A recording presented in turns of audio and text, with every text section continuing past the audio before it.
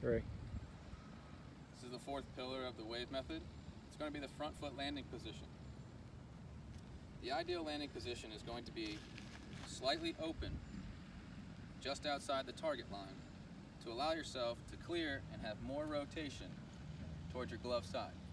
It's better to have more rotation towards your glove side and miss in what I call a pull, which is just an over rotation, not a pulling of the arm, but over rotating past your target line, as opposed to having the front foot closed and then the anatomy of the body closes off the front side from completely allowing the front side or the upper half to rotate and have the arm get closer to the target line, which in turn creates an actual pull or conventional pull.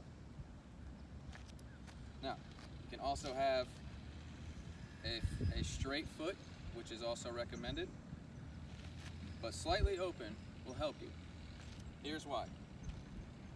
In order to get the most rotational force, if we look at a Muay Thai fighter, when they go for a Muay Thai kick to sweep the leg, they step towards the left, if they're gonna kick with their right, come up under their toe and turn to create this circle of momentum and energy to work through the target or through somebody's leg, torso, or even higher. Same thing should apply here. When you land, you should have it be slightly open so that you can rotate more to get more torque force as you're moving down the mount.